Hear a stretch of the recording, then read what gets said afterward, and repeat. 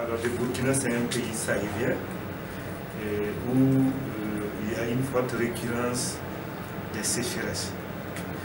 En cela, nous avons beaucoup de problèmes. Nous sommes un pays également agricole. Plus de 80% de la population vit de l'agriculture et de l'élevage. Donc les impacts des changements climatiques affectent prioritairement les secteurs de production, notamment les petits. Alors en termes donc d'apport euh, du projet, alors le projet est en train de contribuer à la résilience donc, des producteurs en, en les accompagnant par la fourniture d'activités génératrices de revenus, en renforçant leurs capacités techniques pour mieux produire, mais aussi euh, en renforçant aussi les capacités des décideurs à mieux encadrer les populations, à prendre en compte les changements climatiques dans leur euh, vécu de, de tous les jours. La deuxième question, c'est euh, est-ce que vous pouvez nous parler un peu de vos plus grands défis, les plus grands défis auxquels vous faites face dans la mise en œuvre, j'imagine, du projet? Voilà.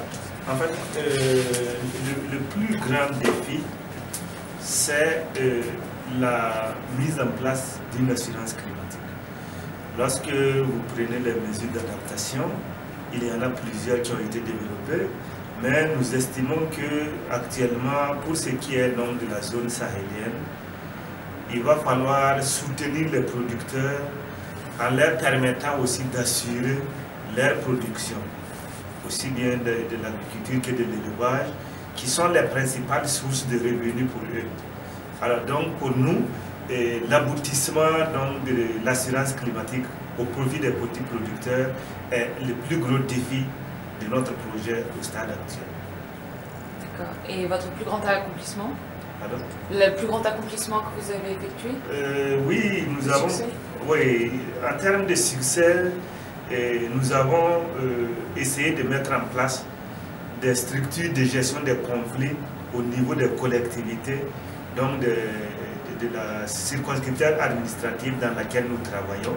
Et cela a été beaucoup apprécié par les décideurs, par les acteurs locaux, par la société civile que par les producteurs eux-mêmes. Parce que comme vous le savez, là où sévit, où sévissent les conséquences des changements climatiques, c'est aussi source de conflits.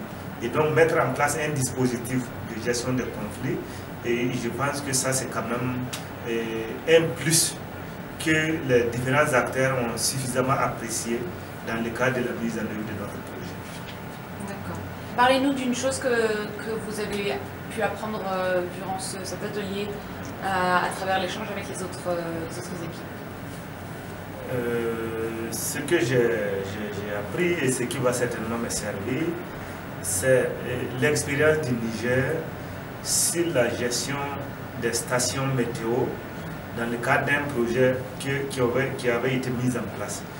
Alors, eux, ils ont développé des initiatives pour assurer la pérennité de la fourniture des informations météo, euh, contrairement à chez nous, où ces, stations ont été installées et après la fermeture du projet, les producteurs n'arrivent plus à assurer euh, la continuité de la fourniture des informations météo à la direction générale de la météo qui les traite et les renvoie au village leur expérience qui, a consisté à responsabiliser les collectivités territoriales et à négocier avec les compagnies de téléphonie mobile pour faciliter, pour diminuer le coût euh, des transactions.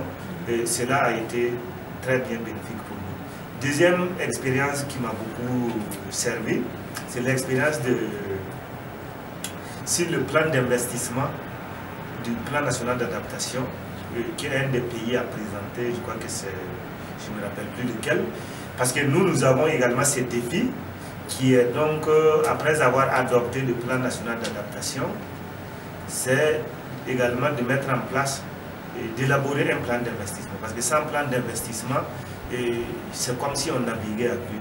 Et donc, euh, un des défis, et ce que j'ai appris donc des autres, c'est de pouvoir élaborer, formuler un plan d'investissement de, de, notre plan national d'adaptation au changement climatique. Merci beaucoup. Je vous en prie. C'est bon.